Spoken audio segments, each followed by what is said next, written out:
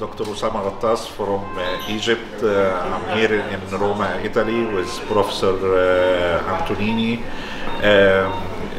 to uh, work together and learn how to uh, insert uh, and implant uh, hydraulic uh, prosthesis AMS with infrapubic incision. Uh, I usually use the uh, uh, penoscrotal incision in my country and I'm here to learn how to uh, introduce it by uh, infrapubic incision. Um, uh, we uh, make five uh, surgery in restricted time, very short time, really amazing. Um, I'm enjoying. Thank you, Dr. Antonini.